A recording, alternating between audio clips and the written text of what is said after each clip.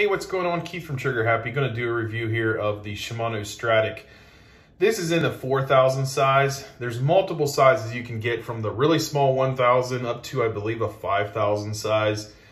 I like this size for, you know, kind of a little bit of everything. You can fish top water, you can fish crankbaits, you can go finesse with the drop shot, shaky head, small swim bait, something like that. You can throw a little bit of everything. I'm probably going to put like an eight pound fluorocarbon on this this year and see how that works out. Um, few things, it, it, it, weighs in under 10 ounces, so it's super, super lightweight. Uh, you've got 6.2 to 1 gear ratio, which will take up about 40 inches of line per turn. Um, they call this their long stroke spool, uh, and it definitely is that. Um, anti-reverse is spot on. So there's no slop, no play in this thing whatsoever.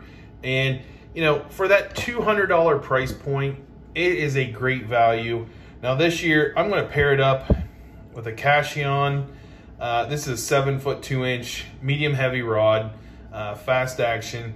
And we'll see how it goes this year uh, with a little longer rod, fishing out of my kayak. Um, you know, I don't fish a lot of spinning reels. I'm typically uh, go towards bait casting options more often, but uh, I'll throw this in this year a little more than last year. Uh, definitely do a little more small river creek fishing. So I think this should work out well for that. So if you're looking for that $200 spinning reel or less, I think this is the best option out there by far. Shimano Stradic.